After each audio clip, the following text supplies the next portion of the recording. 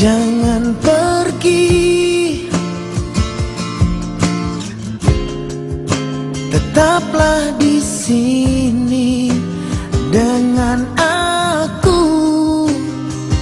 Berdua